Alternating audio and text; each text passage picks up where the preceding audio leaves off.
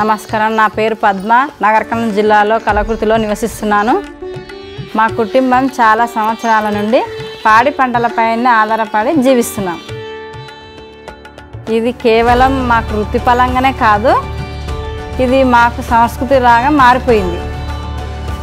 మన సంస్కృతి సంప్రదాయాలు ప్రకృతితో కలిసి ఎలా జీవించాలో నేర్పిస్తాయి.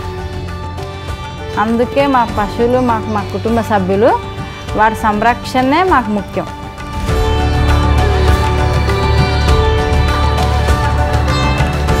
ఉదాహరణకు ఒక పశువు ఒక దూడకి జన్మనిస్తుంది. పుట్టినప్పటి నుంచి రెండు వారాల వరకు దూడకి తల్లిపాలే వాడతాం.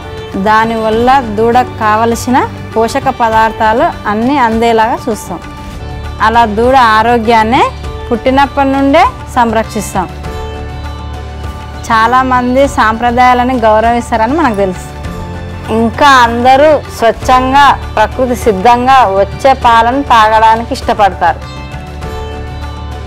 రైతు సాధికారతను దృష్టిలో ఉంచుకొని హెరిటేజ్ ప్రతిరోజు గ్రామీణ ప్రాంతాల నుండి సేకరించిన నాణ్యమైన కల్తీ లేని తాజా పాలను ఎప్పటికప్పుడు మీకందిస్తుంది ఇప్పుడు పద్మలానే చాలామంది చిన్న సన్నకారు రైతులు మాకు పాలందిస్తారు.